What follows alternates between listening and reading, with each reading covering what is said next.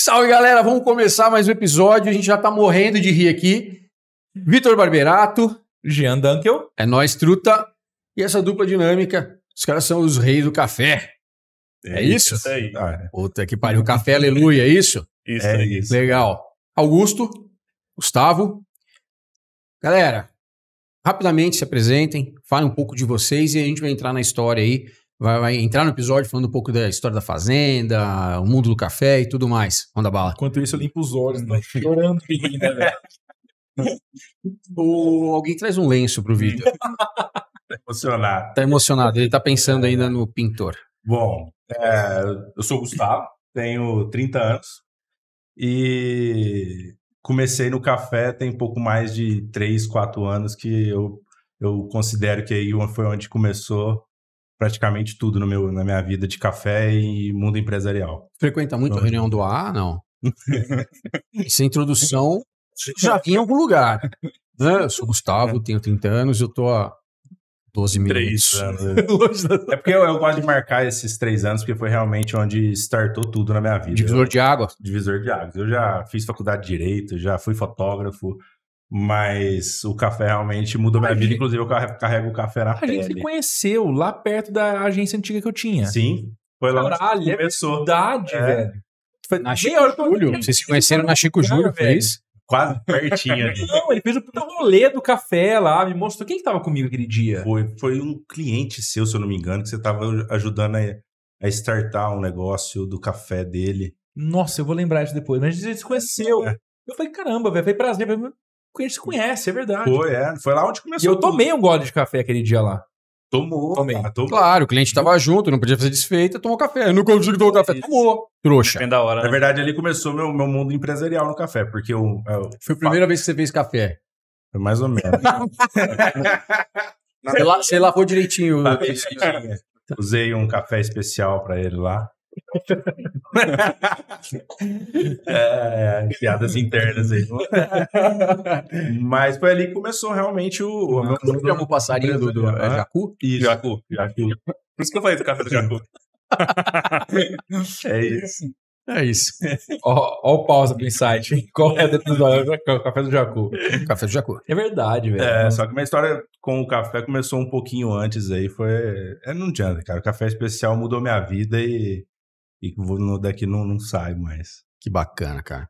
E você? E aí? Bom, meu nome é Augusto, eu sou engenheiro agrônomo, mas na verdade eu fiz agronomia para poder estar inserido dentro da fazenda. Eu já nasci dentro da debaixo de um pé de café, né? Então eu sou a quarta geração de produtor de cafés lá da minha família, desde meu bisavô e tal. E aí eu sempre tive certeza que eu queria trabalhar com café. Mas como meu pai eh, sempre quis que eu fizesse faculdade e tal, eu falei, não, vou fazer agronomia, mas eu me considero pouco agrônomo, muito cafeicultor. Porque eu acho que a gente acaba se especializando, né? Então, é, agronomia é um campo muito amplo. Então, hoje eu trabalho mais com parte de pós-colheita de cafés especiais, tenho com o Gustavo a marca e faço viveiro de muda de café também. Então, estou inserido nisso aí 24 horas por dia. E faço, gosto mais da parte de preparo também. O Gustavo é barista, eu sou barista, então a gente é um time bem completo nesse sentido de, sabe, desde a semente até a xícara, a gente domina bem o assunto.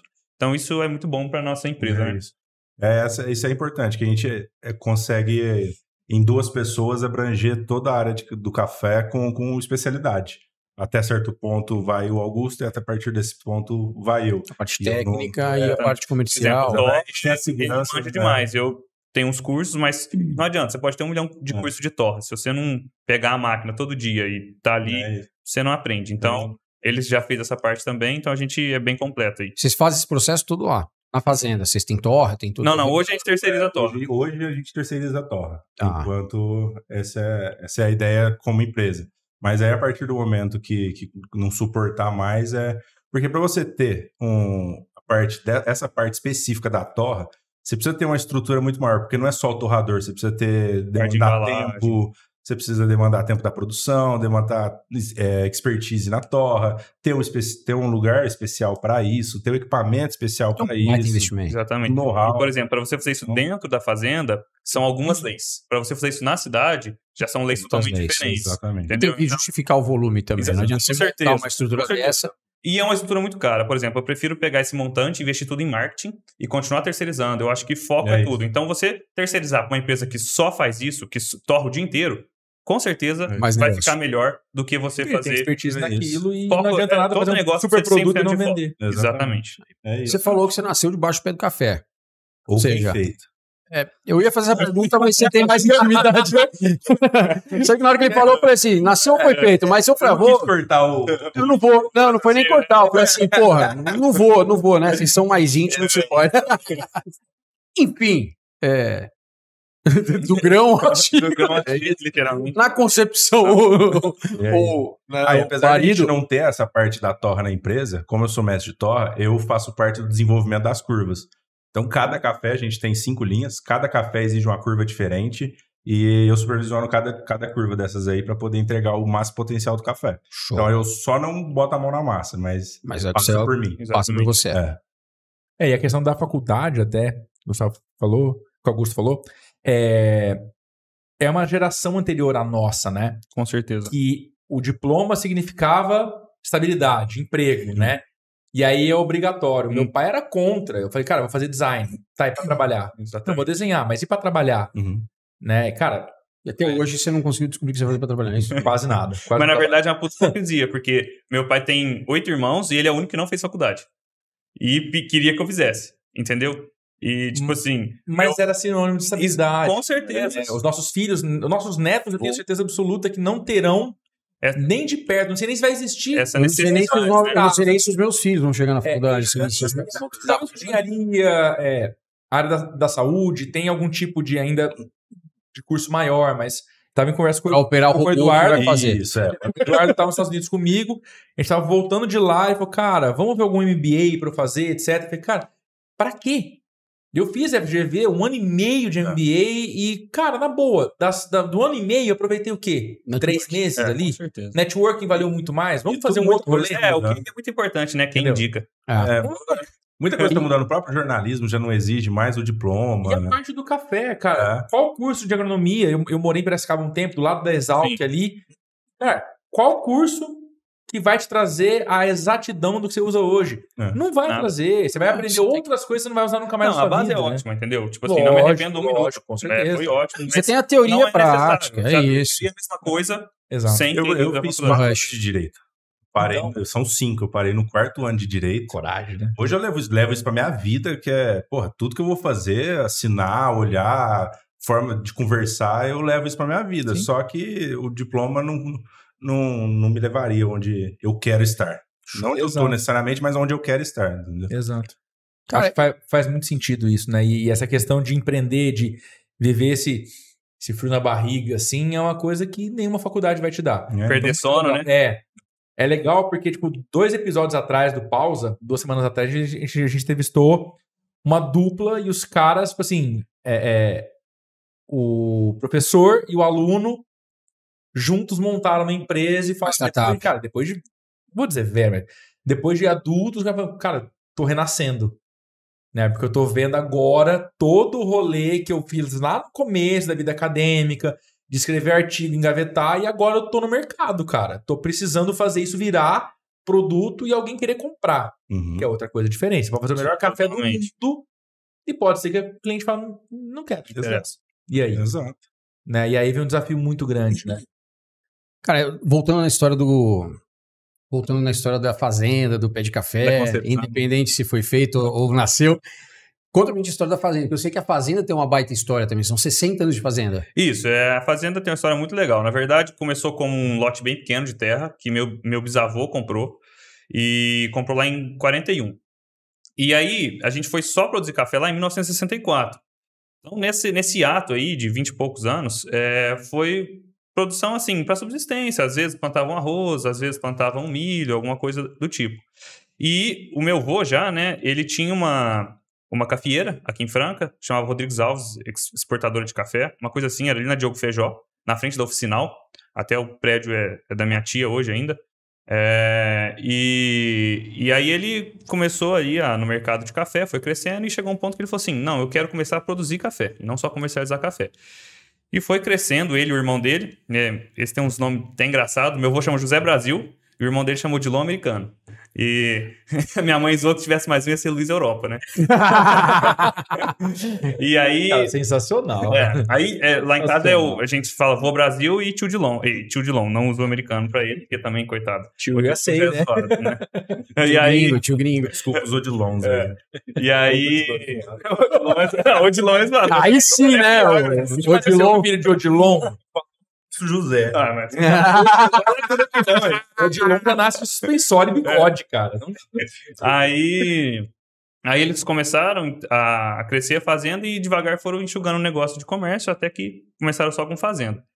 E aí, nesse, proce- nesse processo de expansão das, das compras, da, eh, da- dos novos pedaços da fazenda, né? Na verdade, lá atrás era o seguinte: era uma propriedade só, muito grande, com um cara lá que tinha um casal de filhos. E quando ele faleceu, ficou metade pro filho, metade pra filha. Aí, esse cara, esse filho, ele era muito viciado em jogo. E ele foi perdendo a fortuna dele tudo no jogo. E quando acabou a grana dele, ele começou a apostar pedaço da fazenda. Então hoje ele apostava, uma- ele dividiu a fazenda em matrículas pequenas e ia apostando. Então hoje eu perdia uma pro Gustavo, perdi uma para você no outro dia, e a fazenda foi se fragmentando em vários pedacinhos pequenos. Entendeu? E aí, quando o meu avô foi comprando esses fragmentos, teve gente que não quis vender. Então a gente tem sítios dentro da nossa própria fazenda. Entendeu? E a nossa fazenda tem uma, uma conformação um pouco diferente. Quando você pensa em fazenda de café, a, o pessoal mora tudo numa vila, né? Todo mundo pertinho. Sim. Lá não, como eram propriedades diferentes, eram todas pequenas sedes. Então a nossa fazenda é tudo espalhado, as casas, sabe? E aí ele levou, tipo, quase 30 anos para comprar. A Fazenda Aleluia hoje ela é composta de 36 escrituras. Então foi comprando bem devagarzinho mesmo. E aí o nome veio do seguinte, quando ele quando ele comprou a última, quando meu bisavô comprou a última matrícula, ele chegou Aleluia. em casa e falou assim: "Comprei a última". Aí minha tia, tia Laís, falou assim: "Aleluia". Aleluia. Exatamente. aí ele falou assim, pô, porcaria. gostei, vai ser aleluia. E aí ficou fazendo aleluia. Então o pessoal pergunta se tem a ver com, com religião. Não tem, é só. É da sua Tem, tia. Mas é, mas É, questão exatamente, é- exatamente. Exato. E aí foi essa história aí da fazenda. E é, o que acontece? O meu pai nasceu em 1966, ele é o penúltimo filho. E em 1964, meu avô teve uma colheita muito boa, é, na verdade no ano anterior, em 63. E aí ele já foi, comprou umas fazendas novas, tal, comprou um, uma- um gado para pôr na fazenda também, e ficou de pagar logo no outro ano. E ele embarcou o café no dia 4 de abril de 64. E aconteceu o golpe militar nesse dia. E o café dele ficou preso em Santos. Todo o café. E ele precisava pagar as contas que ele tinha feito. E ele foi reaver esse café só dois anos depois. Então ele quebrou. Quebrou totalmente. Então aí ele teve que vender, tipo, todas as fazendas novas que ele comprou, re- re- re- retrocedeu até o tamanho da fazenda, parou um pouco de produzir café, e aí ele começou também a produzir tomate. Então meu pai, ele teve que trabalhar desde muito, muito novo, assim, e, tipo, meu pai fala que não aguenta ver tomate na cara dele, sabe? Porque desde pequenininho, meu avô pegava os meninos, é, tem um- uma maneira de fazer a, a mudinha de tomate lá, com folha de jornal, todo mundo enrolava isso. E aí meu avô foi crescendo de novo. Em 92, o café ficou muito ruim, cara. O café, tipo assim, veio a, sei lá, em dinheiro de hoje, 150 reais. E aí meu pai, de novo, teve que voltar a plantar tomate pra E quanto reerguer. tá hoje o café? Só pra ter 1.300. uma baixa comparação. É. 1.200, De 1.300. 1.300 pra, pra 150. 150. Mas a gente tá, no, tá num momento. Não, Sim, teve sim, melhor. muito teve É, melhor. não, Já sim, mas tá em no 600 momento. reais. Mas É. pra quem tá assistindo, tem uma baixa Então, comparação, agora, é, né? a gente pode até entrar nesse... Estando em 1.300, tava 150. Exatamente. Dinheiro Pode da até falar de época, né? mercado daqui a pouco. É, porque É, mercado tá tá uma acima da média, assim, né? Não tá. É. É, é o que eu tenho que falar pro Tá pessoal. acima da média, mas eu acho que vai ser uma realidade Vai estabilizar. meio, meio próxima aí dos mil Eu vou te falar um negócio. Eu prefiro o café de 700 reais há dois anos do que café de 1.100 hoje. Os custos de Uhum. produção eram muito menores. Há dois anos a gente pagava 1.600, 1.700 uma tonelada de adubo. Agora eu paguei 6.800. Seis pau. Então, tipo assim, as pessoas não têm muito essa, essa dimensão do custo de produção que tá altíssimo. Hoje você vender café a 900 reais, que tava outro dia, dá prejuízo. Tua margem é. É muito apertada, entendeu? Então, o mercado de café tá, a gente está num momento preocupante, assim, os produtores estão estão bem apertados financeiramente para poder manter os custos, manter a, a fazenda girando. Mas assim, no geral, essa é a, a história da fazenda. Aí 90 e poucos falou que voltou pro tomate. Meu pai voltou a plantar tomate porque a café tava ruim demais, entendeu?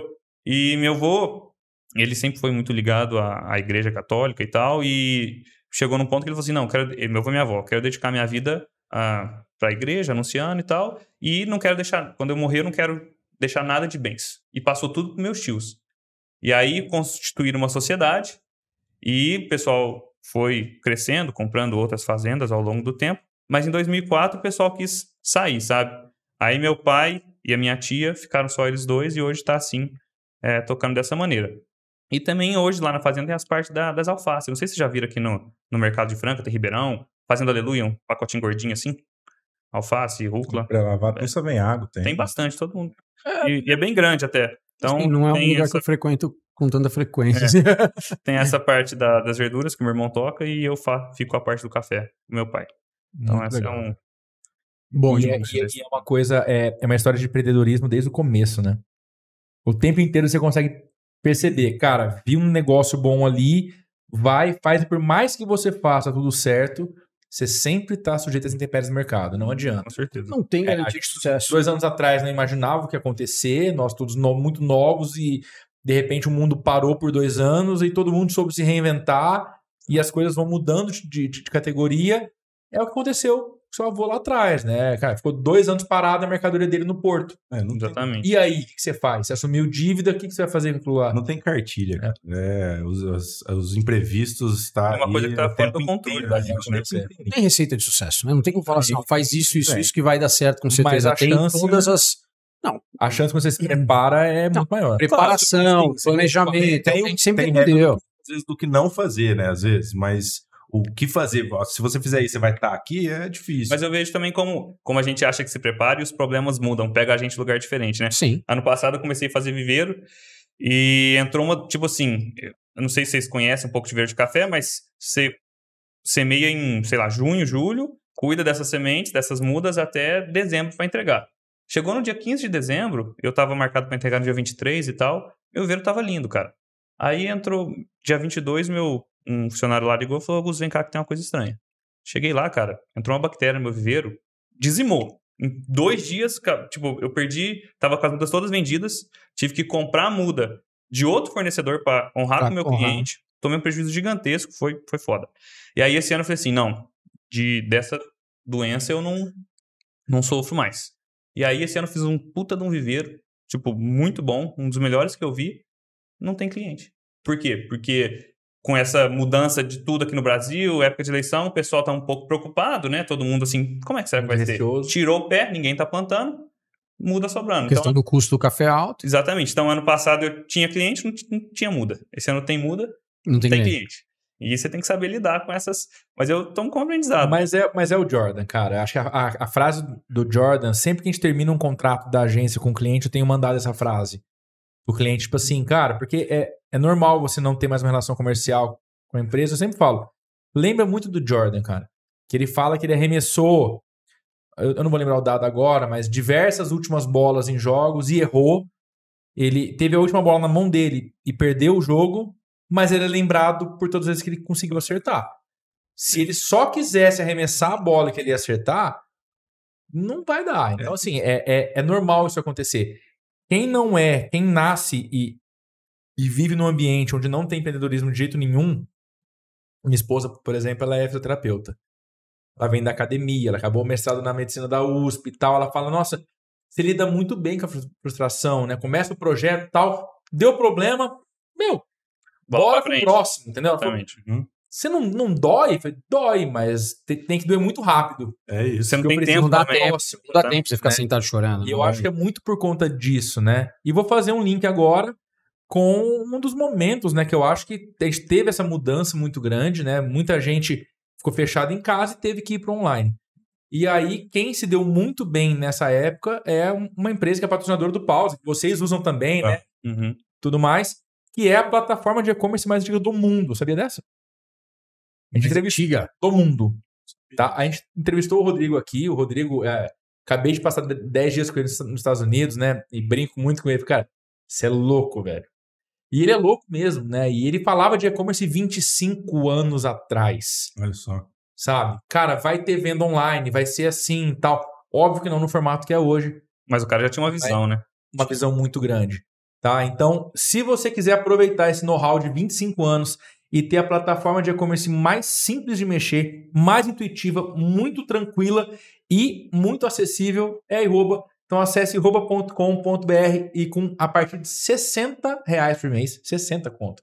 Cara, você gasta num, num lanche ali É de isso. noite. Você pode começar a montar a sua loja virtual com todas as ferramentas possíveis e imagináveis para vender o seu produto para o Brasil todo. Beleza? Então, em roupa.com.br, sugiro que você monte sua loja ainda hoje. Você vai usufruir de um mercado que é muito amplo. O Brasil, em 2022, bateu 27 bilhões de dólares somente no mercado online.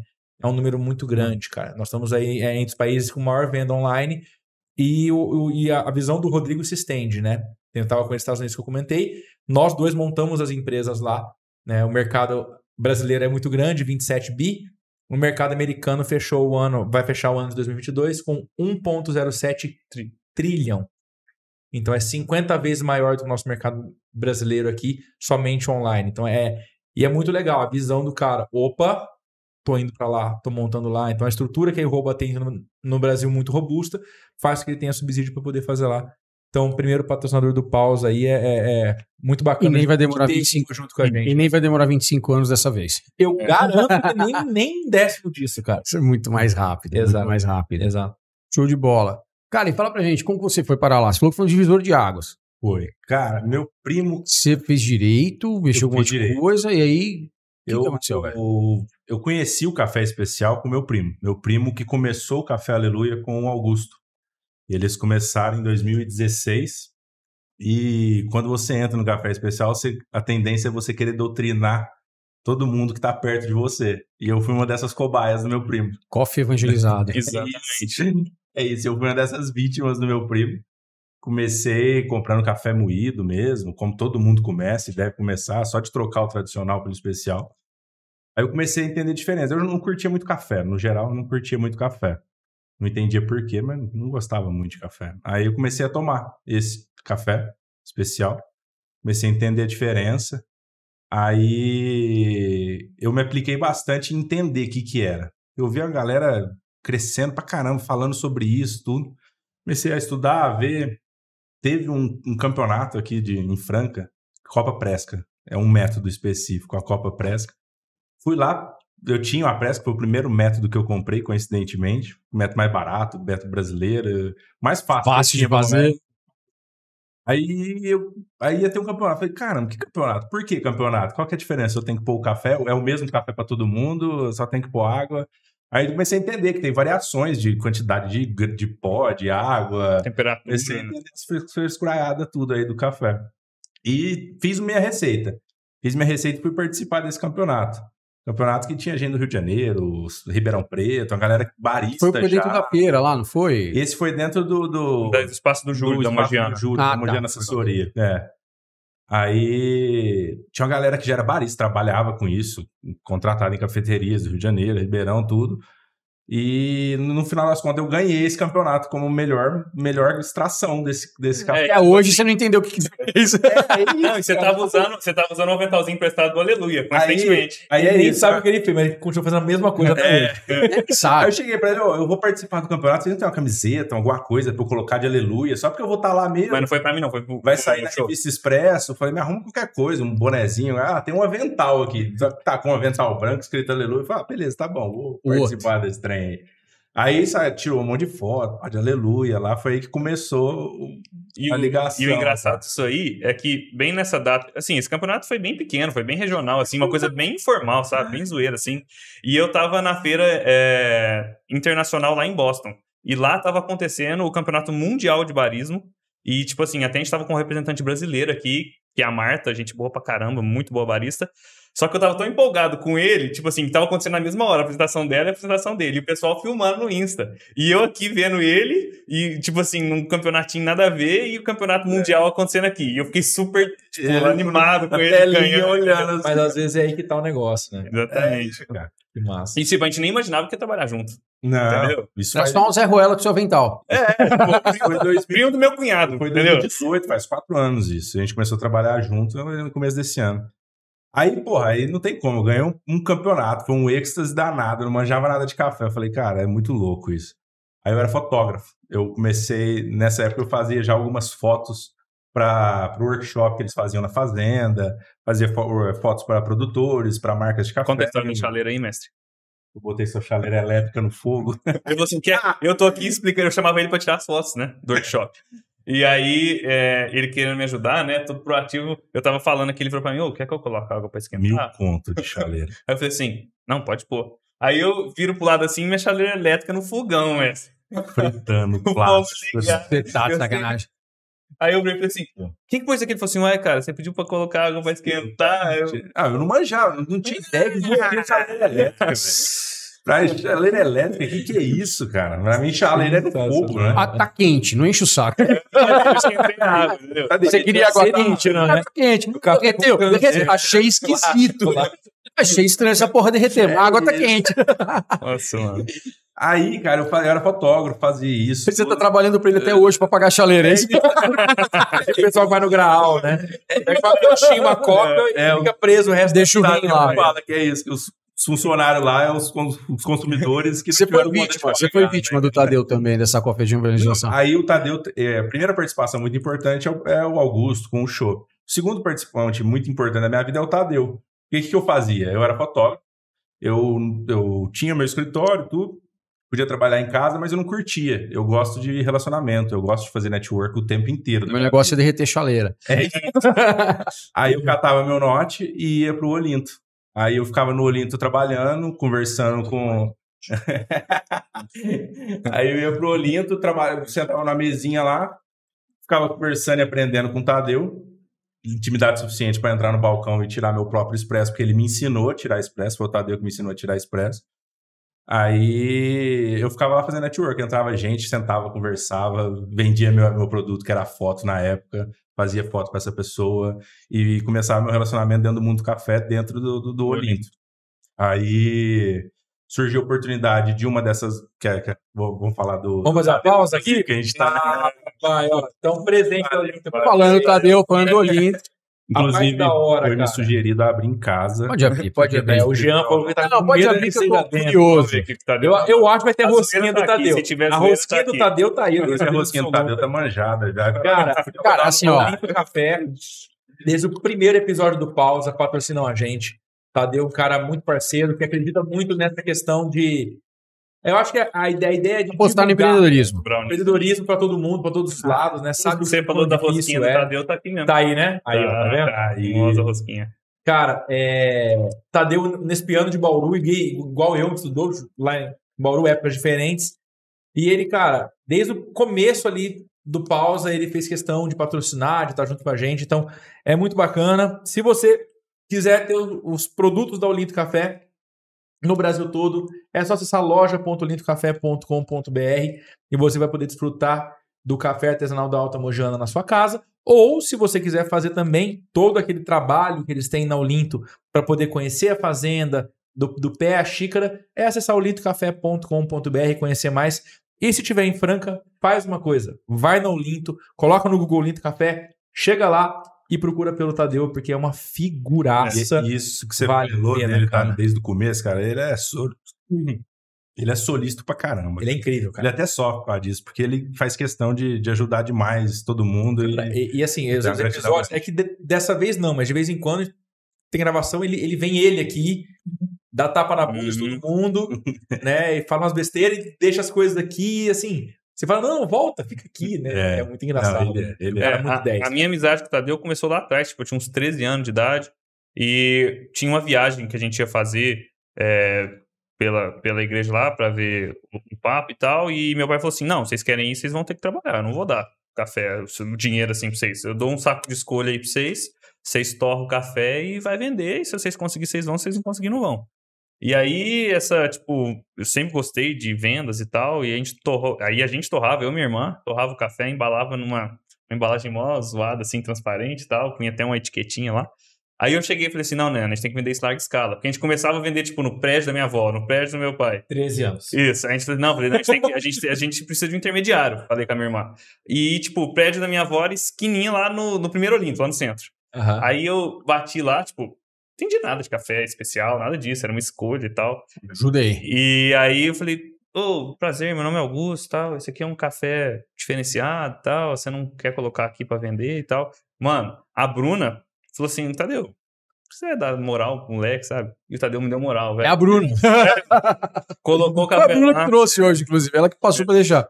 Mas é a cara da Bruna. Fala, É. cala a boca, esse moleque, exatamente. E desde Não então, cara, tempo, né? E desde Desde então, então e aí estão lá. E aí quando eu fiz é, curso de barista, fiz com o Tadeu, tipo, eu casei na pandemia, né? Meu casamento teve, tipo, 50 pessoas. O Tadeuzão Tadeu. tava firme lá, então a gente É é, isso, ele é-. Minha história começou lá, a história do, do Augusto começou lá, Mas e eu- a história do café especial em Franca começou lá. E é muito bacana isso, né? Porque é você pensar que, mesmo no mercado, entre aspas, de nicho, não é um contra o outro. Não é um ah, com o outro. contrário, Tem, contrário, Tem né? Exatamente. Quem consegue ter esse estalo de somar, É. de fazer as coisas junto, de conseguir entender que, que esse mercado consegue ser um mercado. Cara, todos os mercados, na verdade, né? Você tem outras agências de marketing franca. Cara, eu procuro trabalhar o máximo possível em parceria com os caras. Sim, E acho que isso se estende para todos os outros mercados, né? Uhum. Se você conseguir entender que teu concorrente não é seu inimigo, exato. Você vai entender que tem mercado para todo mundo. Você sempre tem a agregar e, e se ajudar velho. também, né? Cara, não Todos vai, ninguém vai em lugar nenhum sozinho. Exatamente. Não É que você falou, você tinha teu negócio de muda lá, deu pau, você precisou contar com alguém. Claro. Se você não falasse com ninguém, você não ia ter muda. E se ele pegasse o computador dele e trabalhasse em casa, É isso. ele ia tava tá lá até sem hoje. conexão nenhuma. Então, ó, Sentado em fica o até hoje. recado aí, Rony Cordeiro, te falei isso ontem à noite. Sai do casulo, papai. É, Aí, inclusive, isso, ó, me gerou o contato de um outro, de uma outra marca de café, que me chamou para participar de uma feira aqui em Franca de café, que era a Fan Café. É, fui como barista, não entendia nada de café, sabia fazer café, mas não entendia nada, não. Aí, mas já tinha ganho o campeonato. Pediu avental de novo. Só que eu tive que ser da outra, outra marca. da outra agora. marca. Aí vesti a camisa lá, vendi, vendi café, conversei e tudo. Aí nisso veio a Elda, que é do, do Café La Finca, que foi onde a gente se conheceu. Verdade. E é outra personagem extremamente importante na minha vida, que foi quem me deu a Todas as primeira oportunidade mesmo para trabalhar efetivamente com, com café especial. Foi ali que eu aprendi tudo que eu sei hoje sobre comércio de café especial. Ela me chamou para ir dois meses após essa feira para ir para Belo Horizonte participar da Semana Internacional do. Café, que ela tem a feira lá, que ela tem a, o stand lá. Fui como barista também. Também não entendia tanto quanto dois meses antes. 19 de abril de 2021, que eu fui te visitar. Foi isso. Acabei de achar a mensagem Aí, pra minha mãe aqui, ó. Faz dois, quase três anos, cara. Faz quase três quase anos. três anos.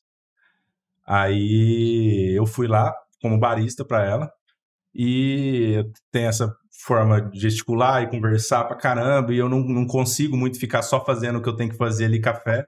Então eu acabava ajudando ela a conversar com pessoas e prospectar e trazer clientes e, e passar dados sobre o café que eu, que eu entendia basicamente ali.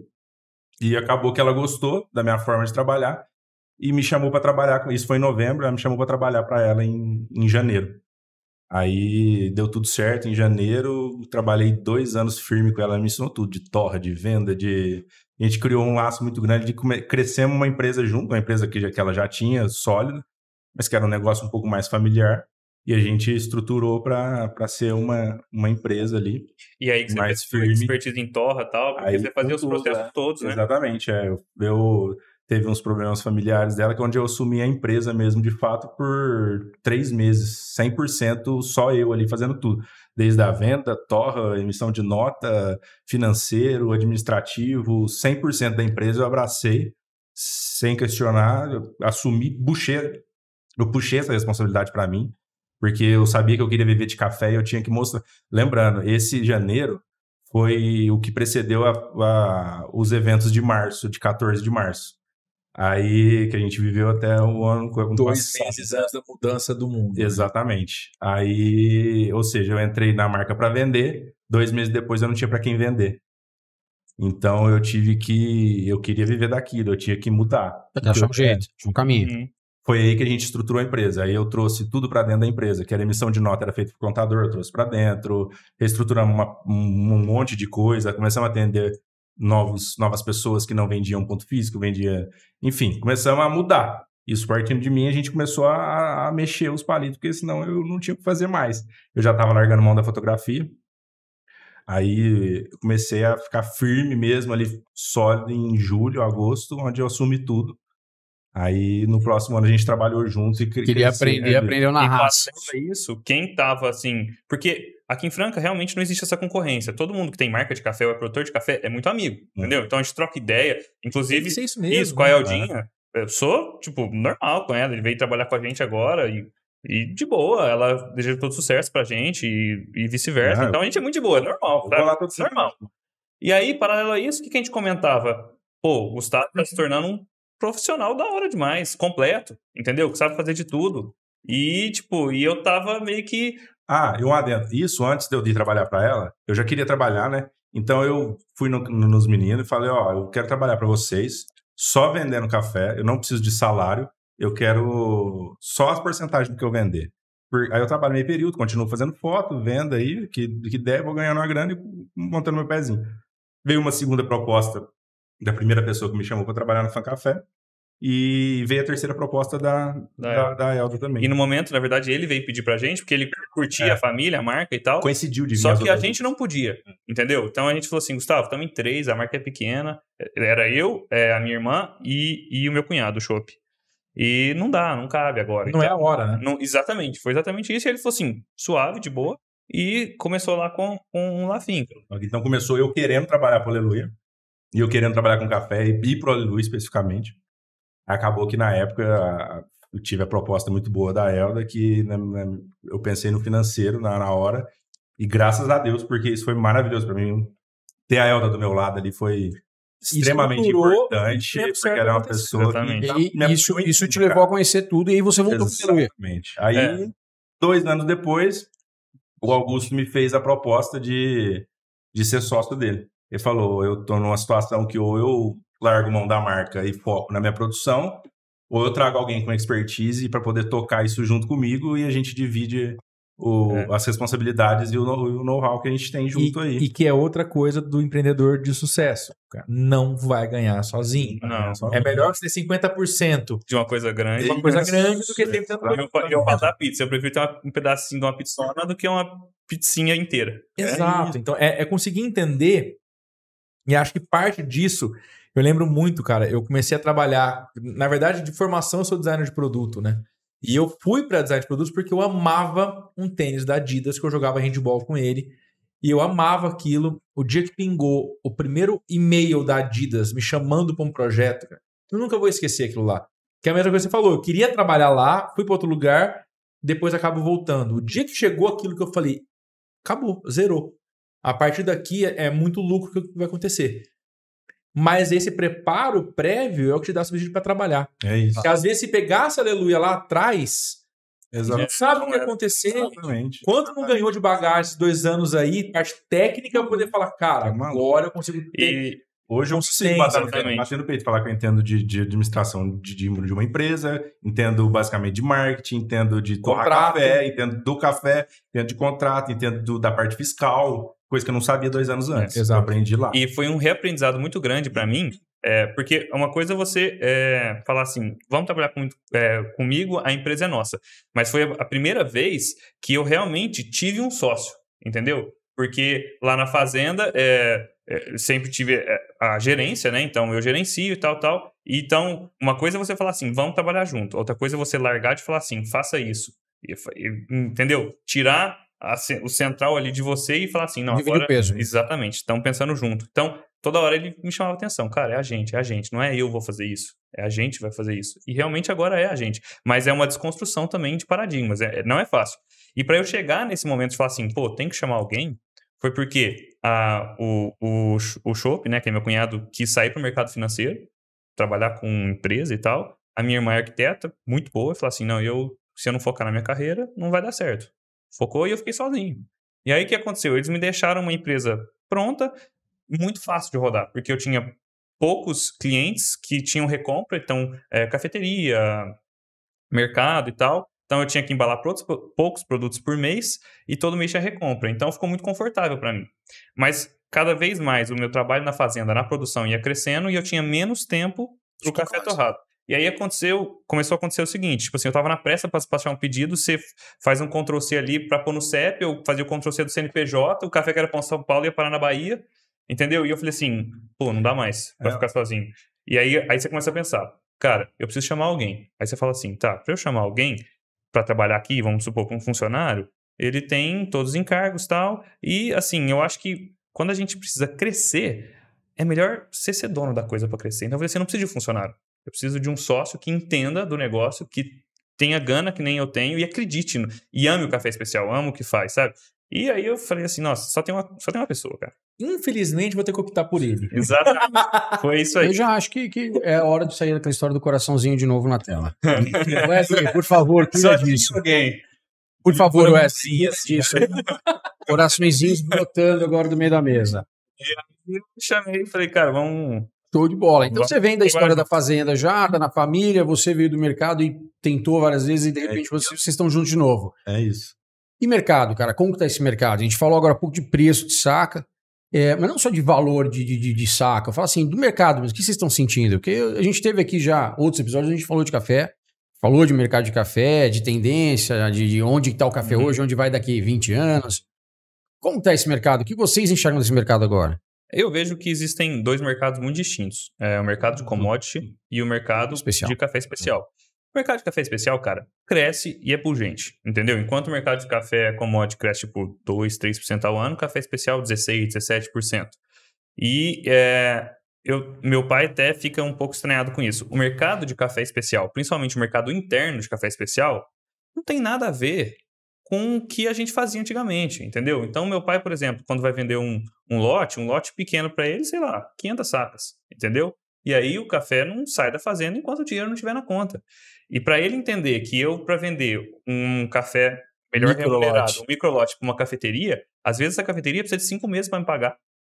E o, o principal motivo desse crescimento é justamente é a, gera, a próxima geração vir com essas ideias. Isso é, é um grande motivo da- do crescimento do, de- do consumo, do mercado estar se expandindo. Essa galera jovem que está trazendo isso. Tá Sinônimo de onda. qualidade em tudo. E principalmente em E- café. Isso é muito importante, porque Empreendedorismo. em sucessão, geralmente, o maior gargalo é esse, é o conflito de uma geração com outra.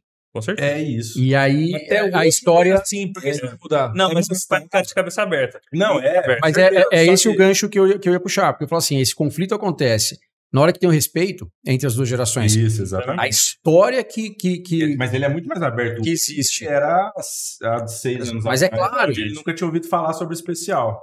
sem dúvida, e até porque eu acho também que o Augusto ele foi crescendo e se posicionando Aí lá dentro. Falou, porra, confia em mim, ó, vou fazer isso aqui. Vai ter que ver resultado. Né? Ô, te dei um saco de café, você foi lá e deu um jeito de vender um saco de café pra viajar. Então, peraí, esse moleque é esquisito. Peraí, vamos falar. É, aprende a partir do momento que ele entende que o Ah, valor pertinho. agregado. 500 metros. Tinha 4 milhões de pessoas lá. Cara, eu cheguei Você escolheu um dia bom pra ir lá. Assim, cara. Sério? Eu vi, Felipe. Eu, eu vi ele de perto bom. aqui no Rio. Em Roma, no Vaticano. Você foi lá? Cara, a gente viu É, ele... quando eu te vi lá, a gente viu com uma perto. certa distância também. Fez lá, mas não tinha 4 milhões de pessoas. Teve uma Ah. missa lá e a gente viu. Acho que Relativamente um perto. evento específico da galera que joga. É, é, tipo, é, eu todo na mundo vê o papo. Na Jornada Mundial da Juventude. É, é uma viagem muito da hora, velho. Você troca muita experiência, muito legal. Eu fui em duas. Eu fui na quina do Rio e fui lá na Polônia. Então, Muito essa, legal. essa da, do café foi pra ir pra Polônia. Polônia. É, a saca. hora.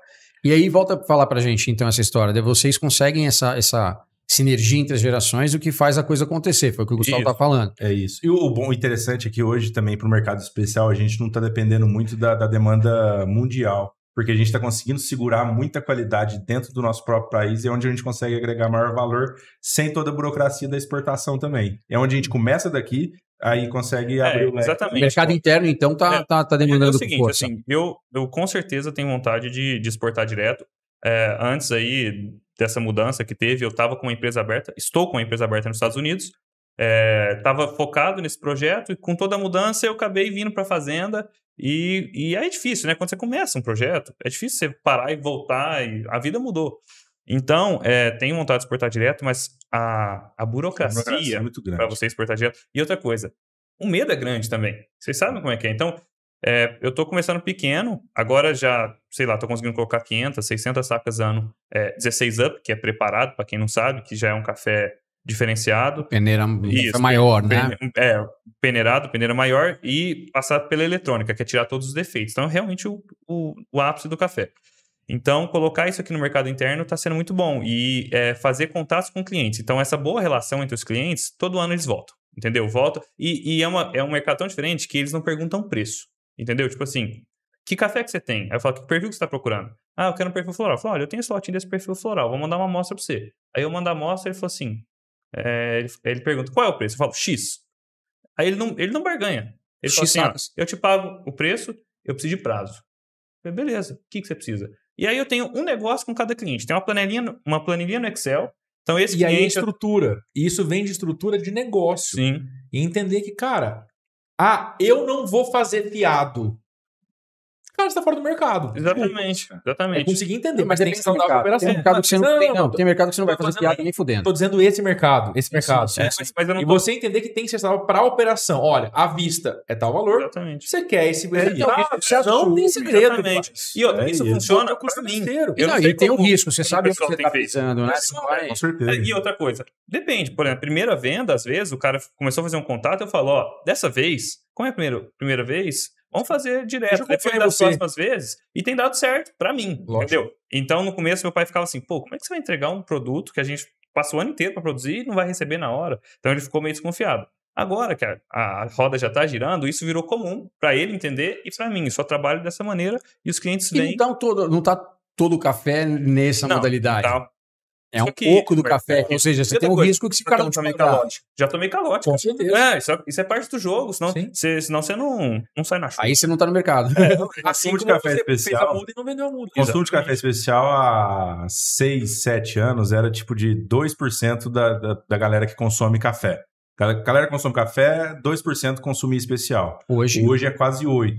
Isso em 6, 7 anos. 8. 8%. Isso É, é muito baixo. É, é cresceu pra caramba, mas é super. Ainda uma- Olha o que tem de mercado pela frente. E esses 8% é basicamente o que representa a produção de uma fazenda pro. pro assim, é, Esse é oito outro mito, muito, né? O cara não produz muito, só cara. especial. Ah, É. fazendo 2, Exatamente. 3%. Você vê o- Não, quando eu falo. que é. é, porque agora já até teve uma mudança da classificação de especiais, né? Lote de 80 pontos, que era classificado como um café ótimo, hoje caiu um pouco na, assim, na normalidade. Então a gente tá começando a falar de microlotes, tipo assim, duas, três sacas de 86, 87 pontos, entendeu? Mas 8% é pouco, mas comparado com 2 a 8 anos. Não, crescimento absurdo. crescimento ca- absurdo. É, Mas o mercado possível É muito grande. é Enorme. Exatamente, Tem muita exatamente. coisa pra andar Mas aí. o problema, principalmente Caramba. do brasileiro, é o seguinte: não é, é, só a questão de preço que limita o consumo de café especial, é a questão cultural.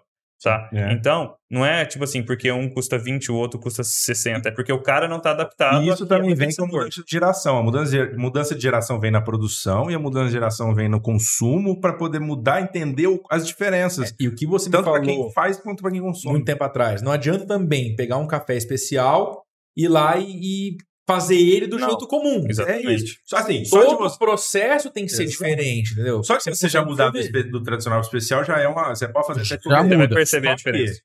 É, é muito trabalho da produção até chegar no cliente para ser feito de qualquer maneira. Exato. Então, o café especial ele exige algumas Um coisas. ritual, né? Exatamente. E você Tem que escaldar o fio. né? E Então, tem um café que você vai conseguir extrair uma experiência muito melhor. Exatamente. O É, café é, especial é uma experiência. Eu gosto de falar que é uma experiência, porque eu acordo, é meu ritual ali. É, eu gosto da um café, ritual. sentir o cheiro, é, brincar com receita. Isso é geração. Nunca que minha avó, minha mãe vai ter uma experiência de fazer café, pô. Pois é, é normal, faz café, põe na garrafa, pronto, acabou. E depois que você café. entra nesse mundo é muito difícil sair, por exemplo. é, a minha esposa não, não tomava café, entendeu? Não gostava e tal. E depois que a gente começou a namorar e tal, ela, Ela hoje. obrigada a É, não, mas é o café. costume. Outro dia eu viajei, ela foi dormir, tipo, na mãe dela, ela levou a Austrália, velho. Tipo assim, eu fiquei impressionado. Você olhou levou moedor, levou balança. E sabe o que ela pediu de presente de aniversário? Esse café aí, mas não o café torrado em si. Ela queria, porque ela adorou esse café, cara. Ela queria o café verde. Tipo assim, você não separa, tipo, 60 quilos pra gente tomar durante o ano inteiro? Eu falei assim, lógico, você me dá 3 mil reais, eu separo. e, e aí o que aconteceu? Eu pus esse café no concurso e tem uma quantidade mínima. E eu não sabia que lá no armazém sobrou, sobrou 12 quilos. E aí eu peguei e não contei pra ela no dia do aniversário dela, foi tipo há três dias. Eu cheguei e falei assim, ó, tá aqui seu presente. Um envelopinho era tipo, vale café, sabe? aí durante o ano ela vai tomar esse café. Pô, ela ficou feliz pra caramba. E, pô, tipo assim, ver, ver ela querendo tomar, ela, tipo, com o paladar, tipo, todo infantil dela, que gosta de muito doce, muito salgado, começando a perceber É as nuances do café, cara, Tipo o seu. É paladar infantil mesmo. É, tá? É. É. Então, nossa, eu fico feliz pra caramba, Mas sabe? também, uma coisa, você não tem ninguém pra te mostrar sobre café especial todo dia, você não tem ninguém pra te fazer É- café especial é todo dia, é outro você não vai em cafeteria de que tem um café especial todo dia. Tem certeza que você, você comprar um pacotinho, deixar lá e tentar começar a tomar um Você vai pouquinho todo dia, você vai tomar. É inevitável. Renato disse falou pra mim: ah, tem o bar aqui da Colorado e tal. Você já foi lá? Não. Eu não- nunca vou escolher um bar de cerveja que eu não tomo cerveja, velho. É, Mas vamos lá, não tem problema nenhum. é isso. Entendeu? Então, mas é, é Mas muito é- ter o hábito. É, É o Mas eu hábito, acho cara. que o hábito tem crescido até. E acho que a internet contribui no- muito nisso. Com Se você puser no YouTube como fazer um café especial Nossa, em de casa, coisa. Você Vai tem canal pra isso. hoje. Você tem Sim, canal. hoje Você gigante. tem canais grandes que ensinam os É, métodos. James então Hoffman, eu assisto o cara todo dia, velho. Todo dia. Ele é- foi um campeão de barista mundial. Ele tem um canal gigante. Deve ter mais de um milhão de inscritos. Ele faz- muito review de coisas. Qual é de o café. cara? James, James Hoffman. Hoffman. Ele é inglês. James Hoffman. Inglês, né? Hoffman. Hoffman. Hoffman. Hoffman, sobrenome. Wesley, depois você põe o link aí pra galera ver É, também. é, James, Ja- cara é, é James bom. Hoffman. Ele faz review de tudo, cara. Ele, é- ele fala todas as diferenças de moagem, de tudo. E te- te- se você pegar os vídeos dele desde o começo, você tem um gabarito completo sobre tudo de Cara, café lá. Outro muito bom também é Morgan's Drinks Coffee. Puta canal bom também. Wesley, depois eu ponho esses links todos É, aí. Outro muito bom aí, pra Indicações vocês seguirem, tem bastante dica, é arroba café aleluia. Esse é o melhor, né? Ó, isso aí é bom, hein? Pausa pra insight. É isso aí. É, Cara, você falou desse café que é um café de edição especial. É da sua esposa lá de Natal. É, que- só- que- Um pra cada um de vocês. Olha só. Obrigado. show. O Vitor não toma café. Esse você vai levar Vai pra tomar, casa. vai tomar. Não, Já, não, tá, já pode moer no Vou te mandar. liquidificador. Vou te mandar. não, mãe não. É, não, vou te mandar o videozinho, tomando. Cara, é o seguinte, esse café Muito é show um esse café café. realmente muito Mentira, especial. Longe, velho. Esse é o café, ele ficou entre os 10, 10 Colocou melhores essas ao produzidos É, na muito, região. Muito alcoólico, velho. Passas ao rum. Sabor de rum e uísque muito forte. É, o, o pássaro do sensorial dele é um pouco menor, mas a gente quis trazer isso por causa, Por causa do, do do Natal. Natal, que Ah. tá vindo. E, rum é muito, E, cara, tipo muito assim. É, a gente que produz o café, eu que produzo o café, esses micolotes são, tipo assim, eu tenho anotado, eu falo que são meus filhos. Eu sei pelo nome quantas horas de fermentação. Então, esse café aí, cara, ele é um Catuai 62. Ele passou por um processo de fermentação controlada com umas leveduras especiais, tipo, muito caras, velho. O, sei lá, o quilo da levedura custa 150 dólares. E de uma empresa que chama Lallman, que trabalha só com leveduras é, isoladas para café. E ele ficou 135 horas fermentando. Depois a gente tira isso para começar o processo de secagem. E a colheita dele é toda seletiva. E aí, tipo, no momento que eu provei, que aí eu vou, eu fico, deixo o café pronto, provei e falei, nossa, mano, que café sensacional. Eu chamei ele na hora para tomar lá em casa e falei, mano, achei um negócio aqui. Corre Esse, em casa pra esse, achei um negócio. Esse aqui tem no, no, no- no site de vocês. Tem no site, site, só até galera. dezembro, é final de dezembro. Tem no Olinto. Dá uma olhada aí, edição especial de Natal. Wesley vai por link também, entra lá e compra. Animal. Esse café ficou E ó, esse café tem 39 quilos, torrado vai dar 30 e pouquinhos quilos, e é só o que tem. Quem Show tem, tem, quem não Quem tem, não tem, não vai ter mais. A Marina tem mais 12 quilos, né? Você falou. é, aí ela pode vender esse café que você deu pra Pagando bem. Apesar de, ter sido só um quinto do que ela pediu, né? Vou- É, é. É. Pediu 30, né? E aí, é, é, você falou a questão da levedura, desse acompanhamento Uhum. que você faz, a gente sabe que isso envolve tecnologia pra caramba. A galera às vezes olha e fala assim: ah, roça, café, É, não. A gente sabe que vai muito, muito além. Vocês são adeptos à tecnologia na fazenda. Você que a fazenda Sim, é, a- adepta Na verdade, da a tecnologia. nossa quebra de paradigma, eu não gosto dessa visão, tá? E, é, de, ah, a fazenda é é- Roça. é roça. Não gosto, nunca gostei. E até nossa embalagem quer transparecer isso. Então, tipo, aqui atrás, ó, tem todo o nosso um desenho do nosso parque industrial lá da fazenda, que a gente ajudou a desenvolver com uma empresa chamada Sensacional. A Cocid. É, É. isso. É uma empresa que já trabalhava no ramo de resfriamento de grãos um tempão. E, e aí ela quis entrar no mercado de café, de secagem de café, secagem estática de café, que já se mostrou muito problemático nos anos 70 por conta de a tecnologia não acompanhar. Então o que acontecia? Você colocava um monte de café, vamos entrar num papo mais nerd aqui. Você colocava um monte de café cereja parado no mesmo lugar. Ali tem muito açúcar, tem muito calor. O que acontece? Fungo. Da pau. Tá, exatamente. Então, na década de 70, houve muitos secadores estáticos e isso acabou porque não deu certo. E aí a Cucid veio de novo com, essa, com, essa, com esse insight, né? Com essa ideia, e precisava de um produtor doido para para tentar testar. Acho- Meu pai, velho, gosta. Não, ele não gosta de café, ele gosta de fazer maracutaia, mano. Tipo assim, é desenvolver máquina, fazer rolo, vende um carro e pega duas vacas e passa as vacas para frente, ele gosta. É, ele gosta de fazer isso. E aí ele foi no Paraná e viu o projeto e falou assim: olha, se isso aqui realmente der certo, eu, eu compro tudo. E meu pai ajuda a desenvolver, mas a gente nunca ganha o, o, o maquinário. Por quê? Porque ele fala uma coisa, filho, é o seguinte, quando você ganha alguma coisa, você não pode falar mal. Quando você compra, você pode falar mal. Nada é perfeito. Então esse sistema é cheio de defeito, entendeu? Mas, dentre os sistemas que estão no mercado, com certeza, é o melhor. Então a gente ajudou a desenvolver isso. E o que, que isso agregou lá na fazenda, no geral? Lógico, não é só isso, é todo um manejo adequado de lavouras. Mas numa produção hoje de 11 mil sacas do ano passado, a menor pontuação foi 82 pontos. Então, é, Eu lembro que a. Vocês, quando começou o café especial, eu lembro que vocês estavam costumando fazer um perfil diferente. De pegava lá no 83, pertinho de é, 83. né? Exatamente. Então, isso é, agrega demais no valor geral da, da, da produção da fazenda. E eu também ficava um pouco frustrado quando eu estava na faculdade eu via o pessoal fazendo lotes, microlotes incríveis. E falava, pai, não é possível que a gente não tenha capacidade de fazer um microlote de 87 pontos. Aí virava e falava, assim, filho, microlote de 87 pontos é a cereja do bolo. Eu preciso fazer o bolo. Então, hoje ele já fez o bolo. Ele faz 11 mil sacas de 80 pontos e Tá eu vou lá bem. e coroa a cerejinha com um lotinho desse. Entendeu? Então, o meu trabalho hoje é fazer essa cereja do bolo, porque o cara consegue fazer. E às vezes eu fico meio pistola com ele, porque ele agora tem até um secador inédito lá ainda esse ano, é, que está sendo desenvolvido, não está no mercado ainda, que se chama SE. É um secador que é são, são duas visões. Tem a visão que a empresa que está desenvolvendo quer e tem a visão que a Fazenda Aleluia quer. A Cucid pensa nele para um, um secador de baixo custo para produtor pequeno. E o Aleluia pensa num, num secador para microlotes. Então a gente desenvolve ele como a empresa quer e, paralelo a isso, a gente usa para fazer umas experiências. E aí teve dois lotes que eu fiz exatamente igual. Então colhi os dois lotes no mesmo dia, do mesmo jeito. Um lote eu fiz no meu trato, todo trabalhoso, demorei 32 dias para secar. E o outro lote ele quebrou o pau e secou em 72 horas. O meu lote bebeu 85 e o dele também bebeu 85. Porra. O que, que isso quer dizer? Que às vezes, cara, faz o simples. Sim. Entendeu?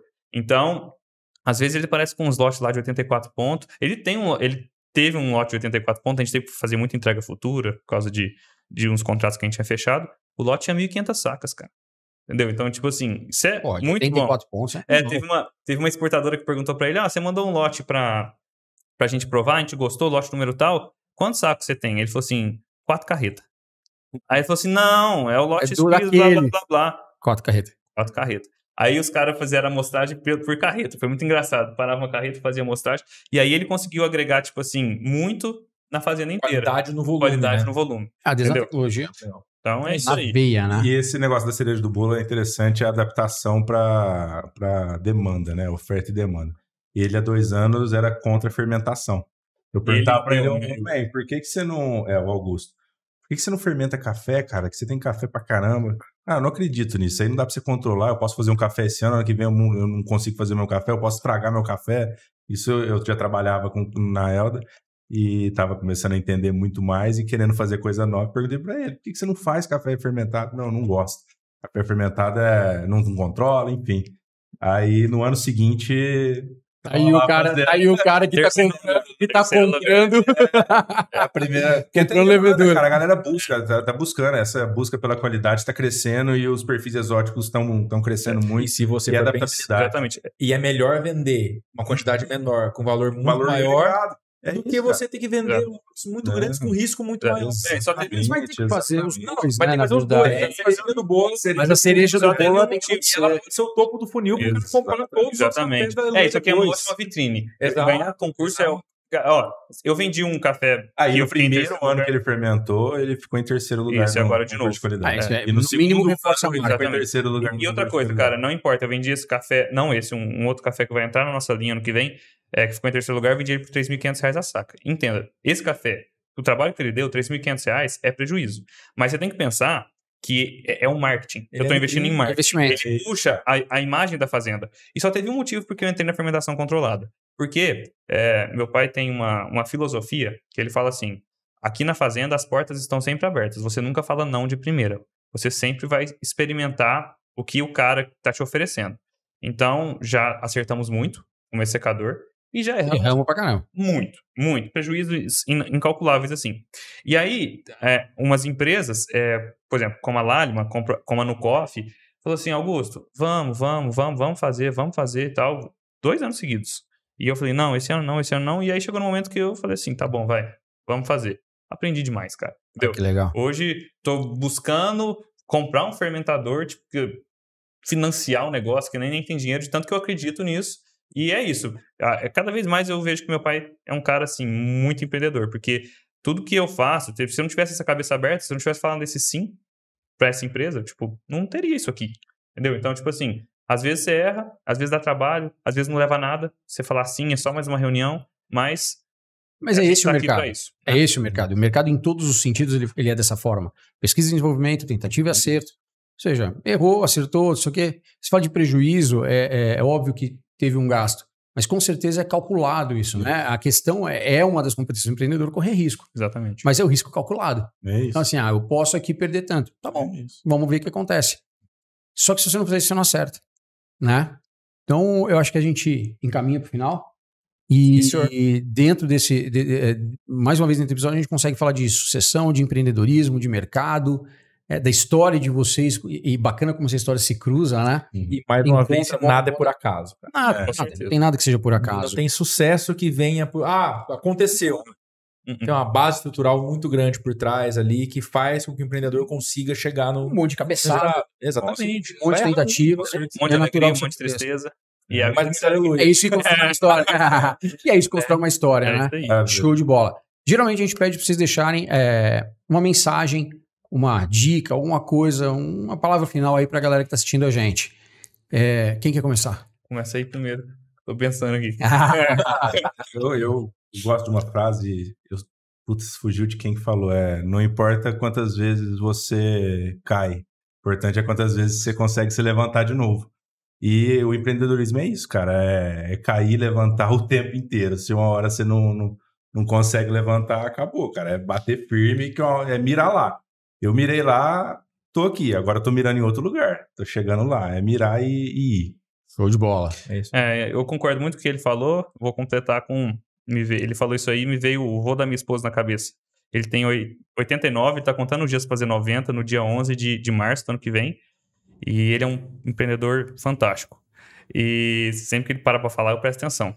E ele fala assim, falou assim pra mim: é, eu não tô, eu tô perto do final da minha vida, mas eu tô vivo ainda, então eu sonho. Atualmente a próxima meta dele é fazer a 80 viagem pro exterior dele e ele tá com foco nisso aí. Então ele falou assim, Com 90 anos. com 90 anos, exatamente. Ele falou assim: o dia que eu parar de sonhar, eu morri. Morri. Então eu acho que essa é a mensagem. O em- tem tudo a ver com o empreendedorismo. Não para de sonhar. Não, você nunca tá no patamar, não é só financeiro, entendeu? Você não tá no patamar, você não está não, não fica estagnado. Sempre almeja mais, sempre sonhe. Show de bola. Isso aí. E é com essa mensagem que a gente encerra o pausa pro insight de hoje. Valeu, Valeu. galera. Valeu.